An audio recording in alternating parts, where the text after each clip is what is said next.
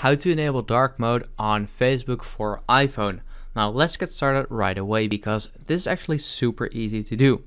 Now all we basically have to do is just click on the three uh, stripes at the bottom right corner. Then you'll go, yeah, you'll end up on the menu. If you scroll a bit down, you can see settings and privacy. Now if you click on that, this drop down menu will pop up and you can already see dark mode right there. Now if you click on that, then just turn it on just like that, then you will enable dark mode.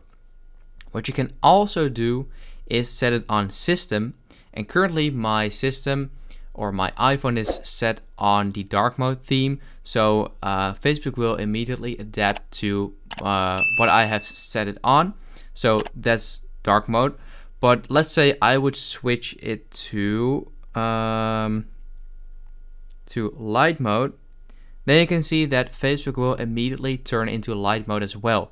So um, yeah, you can either just set it on on or system, do whatever you like. And um, yeah, that's basically it. So I hope this video helped you out. Please leave a like and let me know in the comments if it worked. And I'll see you next time. Have a good day.